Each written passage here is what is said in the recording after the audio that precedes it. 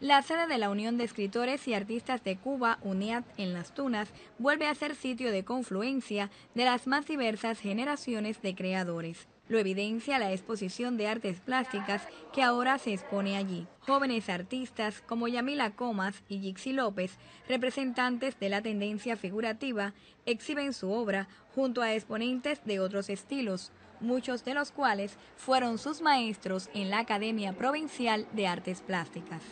De esta forma, confluyen en armoniosa conjunción las generaciones más distantes para dar fe de que la plástica cuenta con una buena plaza en las tunas. Anibis Navarta, LTV Noticias.